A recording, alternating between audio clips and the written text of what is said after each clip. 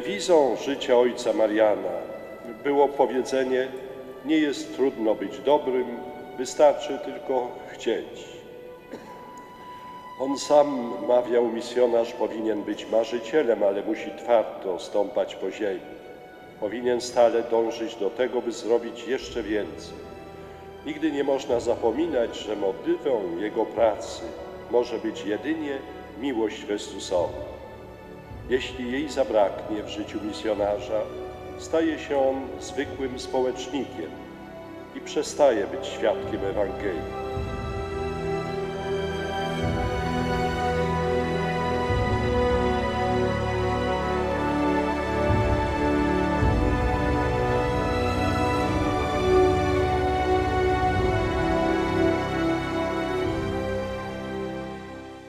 głosić Ewangelię, misjonować świadectwem swego życia, y, to w Indiach przez ponad pół wieku było udziałem ojca Mariana Żelazka. Polaka, wielkopolanina, zakonnika, księdza, misjonarza werbisty. Jak też to wspominał ojciec, y, ksiądz arcybiskup w swojej homilii, ojciec Marian nie był naiwny. On bardzo twardo stąpał po ziemi. Y, Pobyt w obozie w czasie II wojny światowej pokazał mu, do czego człowiek może być zdolny, gdy w drugim widzi tylko wroga, a nie dostrzega w tym drugim człowieku człowieka, nie dostrzega bliźniego. Dlatego sam chciał inaczej. Wychowany w katolickiej rodziny, rodzinie, czerpiąc Ewangelii, naśladując po prostu swego mistrza, on w każdym chciał widzieć człowieka, w każdym chciał widzieć bliźniego, dziecko Boże. I dlatego przez całe swoje życie ojciec Marian nie dzielił, a jednoczył. On nie odrzucał, a przyciągał. I tak było czy to w Indiach, czy w Polsce. Po przyjeździe do Indii pracował najpierw wśród pozakastowych adiwasów, potem w Puri, wśród wykluczonych ze społeczeństwa, wśród chorych na trąd. I można na ojca Mariana spojrzeć jako na społecznika, ale nie byłoby to pełne spojrzenie. On jako zakonnik, jako ksiądz, jako misjonarz całym swoim życiem świadczył, że źródłem tej jego postawy, źródłem tej jego postawy jest wiara. Jest Jezus Chrystus ukrzyżowany i zmartwychwstały. Nas w maju w 1940 z Schrodowa wzięto 26 młodych ludzi. Miałem wtedy 21 lat. Naturalnie nie wiedzieliśmy, dokąd jedziemy. Na końcu na stacji ten napis zdachał. To całe życie było takim powolnym, powolnym dobijaniem. Głód, potem praca, później, później żeśmy, e, później przy, przyszły choroby. I to tak jeden za drugim cichuteńko, cichuteńko u- umierali. To na, na 26, 14.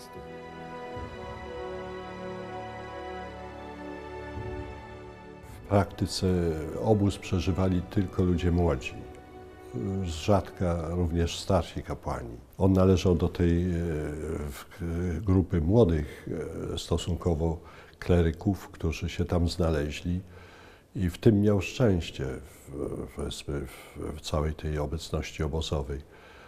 Ale na pewno to, co tam się dokonywało, to wypracowało jego silny charakter i umocniło powołanie, bo on za każdym y, umierającym księdzem czy, czy misjonarzem, który się przygotowywał przedtem na misję, a, w obozie umarł, to on y, za każdego jakby nie tylko, że się modlił, ale przejmował jego powołanie. Czyli właściwie jego powołanie było summą powołań wszystkich tych, którzy pomarli w obozie. Ojciec Marian sam często powtarzał, że e, obóz to był jego drugi nowicjat.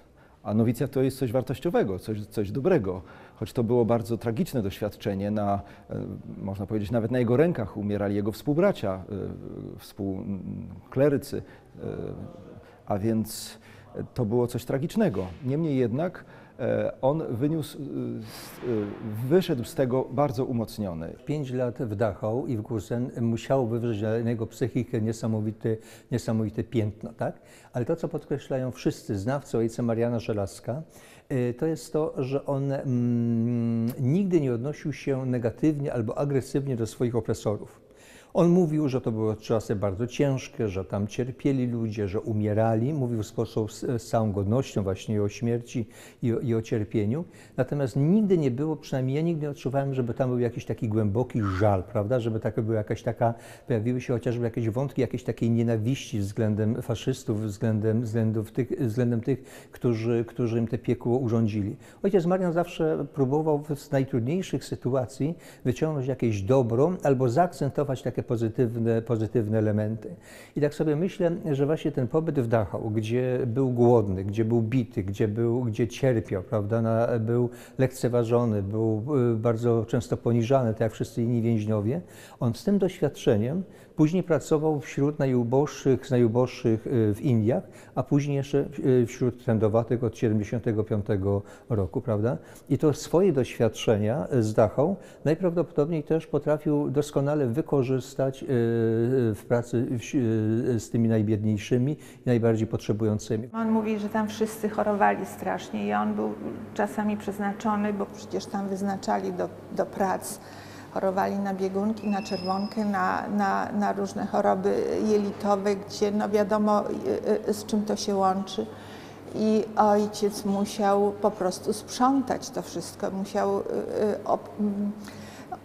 tych chorych y, obmywać, musiał ich y, pielęgnować tak jak mógł, no i potem być świadkiem mm, ich śmierci, więc to, to było na pewno dla niego straszne i ta, i ta jego wdzięczność za ocalenie, no właśnie zaowocowała no, dalszym jego życiem i dalszą pracą.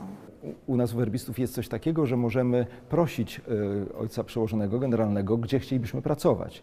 I on chciał pojechać do takiego kraju, gdzie jest najwięcej ludzi na świecie, żeby tę swoją miłość mógł jak najwięcej ludziom przekazać. Chciał jechać do Chin, no nie było możliwe, więc wybrał Indię, gdzie rzeczywiście jest bardzo dużo ludzi.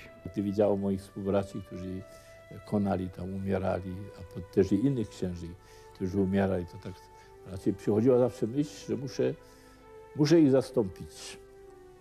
Dla mnie to było, jakby powiedzieć, płacenie długu wdzięczności za odzyskanie życia, życia ziemskiego, ratować, pomagać drugim ludziom.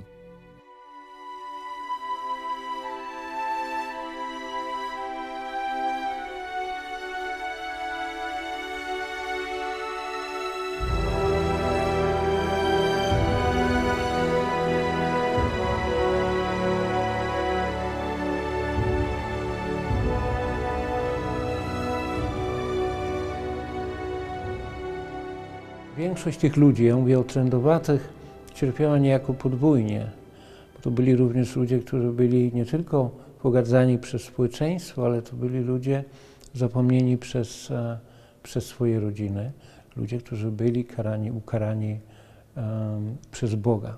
Dla tego człowieka, który spędził pięć lat w obozie i wiedział, co to znaczy być traktowanym jak podczłowiek, on wiedział, co to znaczy, by cierpieć, cierpieć chłód, cierpieć głód, co to znaczy być odrzuconym, co to znaczy żyć całkowicie na marginesie, na marginesie życia, być odciętym i od wszelkich relacji ze światem zewnętrznym.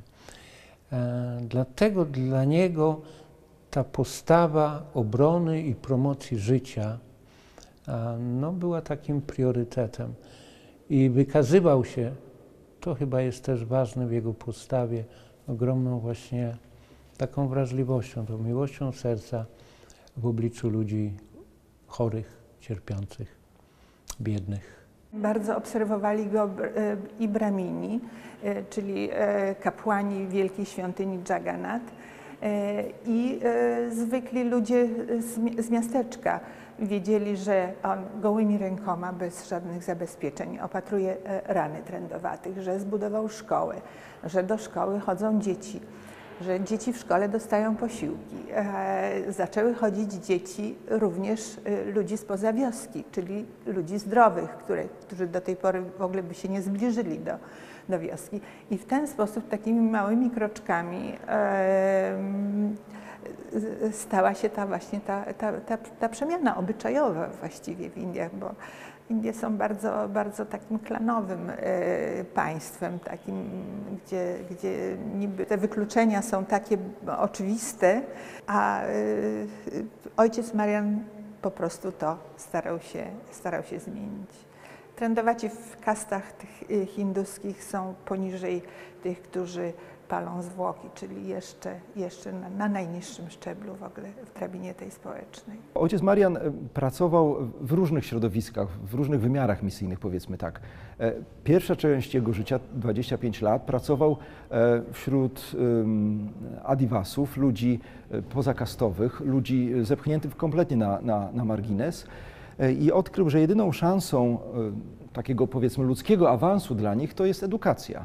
E, dlatego otwierał szkoły, e, starał się, żeby oni byli, byli edukowani i potem rzeczywiście wielu z nich zostawało doktorami, nauczycielami, e, nawet dwóch biskupów wyszło spośród tej grupy jego uczniów. A więc odbudowa, jakby przywrócenie godności człowieka. I to samo działo się potem w Puri, kiedy, kiedy pracował między innymi z trędowatymi, kiedy przywracał godność tym, tym ludziom. Jest w jednym z filmów o ojcu Marianie Żelazku taka piękna scena, w którym trędowaty, taki starszy już człowiek, bardzo zniszczony przez chorobę, życie, mówi, że zapytany o najpiękniejszą chwilę w swoim życiu, on powiedział, najpiękniejszą chwilą było to, kiedy przyszedł do niego ojciec Marian Żelazek i napił się z nim razem herbaty. I on wtedy poczuł się od dawna znowu jak człowiek. I myślę, że tego my, misjonarze, możemy się uczyć od ojca Mariana, żeby, żeby pomagać ludziom odkrywać w sobie pełnię człowieczeństwa. A co za tym oczywiście potem idzie, e, pełnia człowieczeństwa to też otwarcie na nadprzyrodzoność, na, na Boga e, i na tego Boga prawdziwego, Jezusa Chrystusa. Taka początkowa reakcja nawet tych, tych, samych trendowatych, kiedy zaczął się nimi opiekować i troszczyć, no oni po prostu śmiali się. To znaczy nie śmiali się z niego, ale śmiali się z tego, że coś takiego im się przydarzyło. O co chodzi? Nie mogli uwierzyć, że ten człowiek, który przecież jest człowiekiem z zewnątrz, prawda? E, nie należy ani do ich religii, ani do ich e, społeczeństwa jako takiego, ani do ich rodziny. Nie ma żadnych więzów krwi a więc ten obcy w ten sposób e, się nimi e, opiekuje, w ten sposób ich traktuje jak swoje, jak swoje dzieci. A on ich traktował nie jak dzieci, tylko jak dzieci Boże. No, jak ktoś jest chory, to jest chory. Dlaczego? Dlatego się śmiali, ponieważ um, nie mieli, wielu z nich nie miało doświadczenia, co to znaczy mieć dobrego ojca, dobrą matkę byli odrzuceni. Całą swoją energię e, poświęcił na to, żeby przywracać e, godność tym ludziom, a jednocześnie pokazywać innym, że to też są ludzie, prawda? Oni byli rzeczywiście, nawet może tak samo jak ci pierwsi Adivasi, zepchnięci kompletnie na, na, margines, na margines życia, dodatkowo jeszcze niedotykalni, bo przecież trąd e, e, e, wiązało się z tym, że, że możemy się zarazić bardzo łatwo, co zresztą jest stereotypem, wcale to nie jest, nie jest prawdą. E, I e, ojciec Marian poprzez pokazywanie też e, zatrudnianie tych ludzi, że nie musieli żebrać, tylko mogli na siebie zarobić, to sprawiał, że ci ludzie zaczęli być odbierani jako pełnoprawni członkowie społeczeństwa.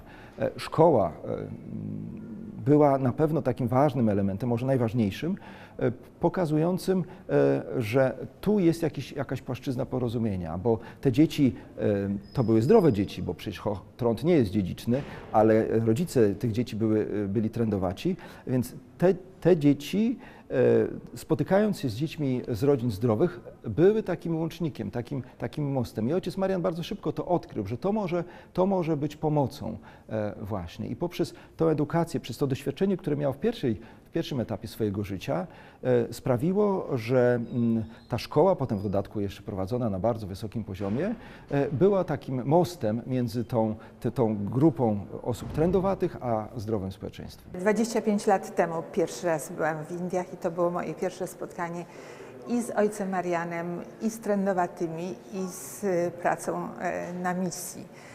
E, No jakie to było? No było e, z jednej strony wspaniałe, że mogłam się tam znaleźć, a z drugiej strony straszne, bo e, ludzi chorych na trąd, tak strasznie poranionych i tak dotkniętych chorobą widziałam po raz pierwszy. Miałam tam pracować w swoim zawodzie, czyli leczyć i zęby i pomagać. I proszę sobie wyobrazić e, e, bliski kontakt z tymi, z tymi, z tymi chorymi na e, fotelu dentystycznym, bardzo prowizorycznym. E, Ojciec Marian był cały czas przy mnie, cały czas w pierwsze dwa dni chodził po wiosce i mnie przedstawiał, rekomendował, zachęcał e, do przyjścia do gabinetu, żebym mogła udzielić pomocy. I, I już wtedy zauważyłam, jak bardzo go ludzie kochają tam w tej wiosce, jak go, jak go po prostu y, to był zwyczaj hinduski, o czym się później przekonałam. Padają mu do nóg i składają czołem e, o stopy, uderzają, składając w tej chwili, w, te- w ten sposób jakiś swój, swój hołd, swo, swoją wdzięczność, y, no, dziękując za dobrość, dobroć, którą, e, którą ich obdarzał. No i już wtedy wiedziałam, że będę tam wracać. Wracałam wiele razy.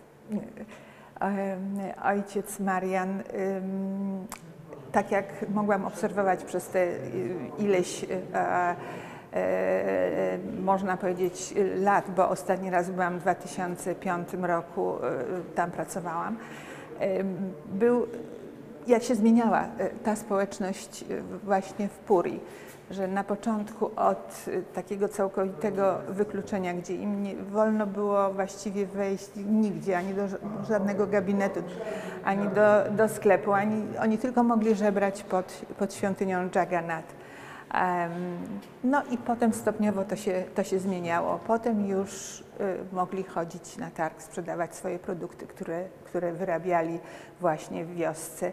Mogli no, bardziej uczestniczyć w tym życiu społecznym i to było największe dzieło ojca Mariana, bo to przywracało im godność, człowieczeństwo. E, No, no, i, i to właśnie ojciec Marian u- uczynił przez całe swoje życie. To był człowiek głębokiej modlitwy. I to nie było tak, że ojciec Marian Żelazek ostentacyjnie wchodził do kaplicy. Kiedy y, się wchodziło do kaplicy wcześnie rano, ojciec Marian już tam był. On potrafił się modlić i robił zawsze to gdzieś bardzo skromnie, sobie gdzieś tam klęczał albo, albo później siedział na ławce. On odmawiał brewiarz, robił rozmyślanie i to było takie bardzo naturalne. Tam absolutnie nie było to na pokaz, prawda, albo żeby zwrócić na siebie uwagę.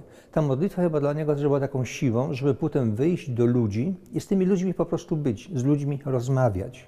On zawsze rozmawiał i potrafił bardzo ładnie mówić o Panu Bogu, o sprawach wiary w sposób bardzo naturalny. To nie było sztuczne, to nie było jako dodatek, to nie był temat zastępczy albo temat narzucony. Po prostu rozmawiał się o czymkolwiek i w, w tym wszystkim pojawiały się, pojawiały się aspekty wiary. Nigdy człowiekowi nie obiecywał łatwej drogi. Powiedział przecież weź swój krzyż, chodź za mną. No i ja, ja to tak, człowiek się wpatruje w niego i idzie.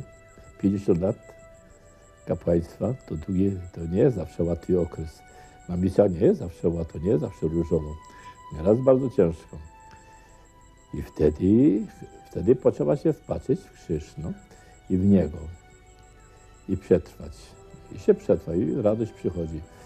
Po nocy zawsze dzień przychodzi.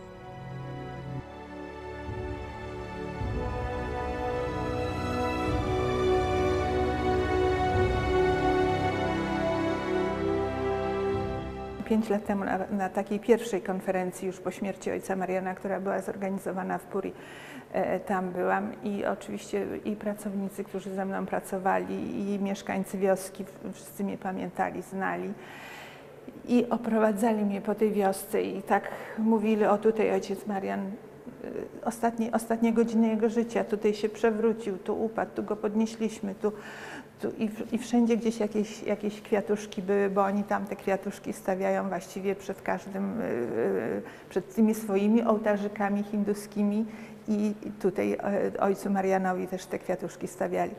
I tak mnie prowadzili krok po kroku i, i aż do miejsca, gdzie, gdzie skończył życie. Zauważono, że po pięciu czy sześciu latach od śmierci ojca Żelazka pamięć o nich trwa.